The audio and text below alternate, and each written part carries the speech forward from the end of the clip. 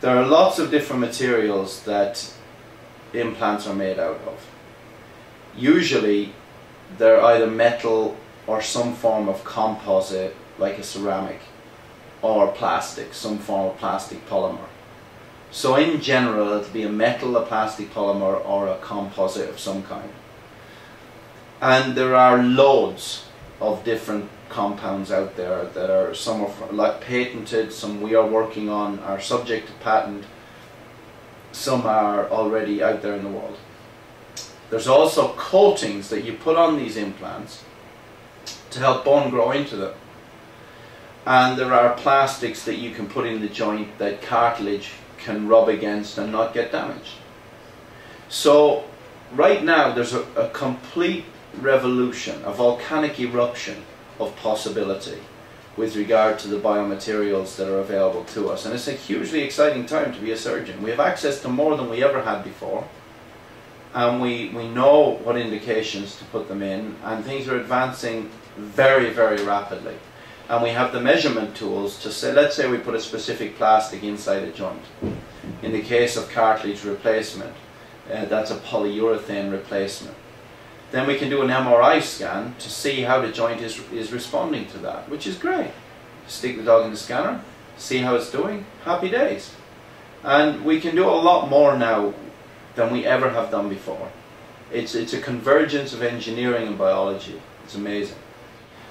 Fundamentally, you load your body by walking. Therefore, every implant that you put in the body has to respond to that load and the bone needs to remodel around the implant.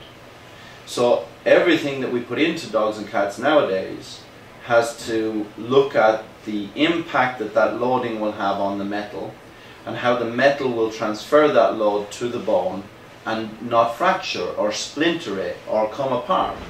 And dozens and dozens and dozens of research projects worldwide are going into getting metal which is more like the characteristics of bone. So in other words, when you put pressure on Bond. there's a little bit of give in it, a little bit. Um, that's called compliance, a little bit of give. And if you can make a compliant material that, that moves a little bit, but not too much, that's quite good. Um, the other thing that you want is stress, the other thing you don't want is stress shielding. So if you have a piece of metal sticking out of my arm, and I'm going to walk on it because I'm a dog, then the metal will break off here or the bone will break off here because the metal might be much stronger than the bone or vice versa. So stress shielding that's called where there's a, a shielding effect here and the stress isn't transmitted. So a lot of the times we try and make metal that will the bone will grow onto. And sometimes we use a beaded surface that's like a honeycomb, like the bone marrow. And sometimes we'll use compounds like hydroxyapatite, which is a chemical that makes the bone grow onto the metal. Um, but there's loads and loads of different techniques, trabecular metal, porous metal, and chemicals that will help the bone to bond with the metal. I think to be a surgeon you need to have an ego because otherwise you couldn't go into theatre. But I think if your ego supersedes the humility that biology will subject you to, then you've lost the plot because there's no surgeon in the world good enough that biology will not humble you. So every day I go in with a certain temerity into theatre and think, well, today I could mess up, or today biology could mess with me. Is there anybody that I look up to? Sure, there are loads and loads of people that have influenced me in my career, geniuses, way, way, way, way more clever than I am, who are engineers, biologists.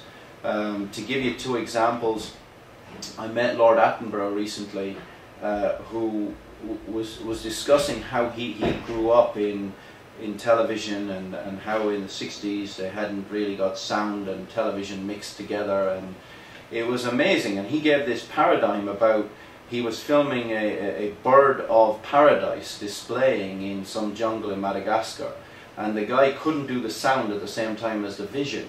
So they filmed this bird but the, every time they turned on the camera it sounded like a cement mixer going so they couldn't record the bird because it was a separate machine. So they came back to London and they had like 15 hours of the Bird of Paradise displaying, which is the first time it had ever been filmed, and five and a half seconds of uh, uh, uh, uh, uh which was the sound that the bird of paradise made. So they had to loop this sound onto the vision, and then they displayed it to the BBC. And Attenborough's mentor wrote to him, and he, and he said, "My dear fellow Attenborough." I was incredibly impressed by your, your video of the birds of paradise displaying, but I, I noticed an incredible thing, my dear chap.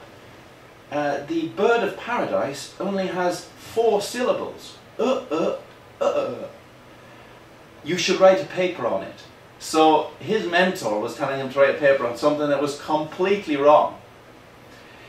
Why do I tell you that? It made me laugh because a lot of times in science we think we're right we might be completely wrong. Why is that important? Never, ever, ever, ever, ever think you're right. Because you're probably not. And in 10 years' time, everything we know now will be obsolete anyway. anyway. So when people say pioneer this, blah, blah, blah, blah, well, in 10 years' time I could be dead, or everything I've done now is obsolete. So there are loads of people that have influenced me, surgeons and otherwise. A, a, very brilliant veterinary surgeon called Dr. Marvin Olmstead at the University of Ohio, who taught me how to do total hip replacements, picked up the cup of a total hip in his finger, and historically, this cup thing had to be put in with. It's not that I have all of these props. It's just this is my consulting room. This is not set up um, I have these to show clients.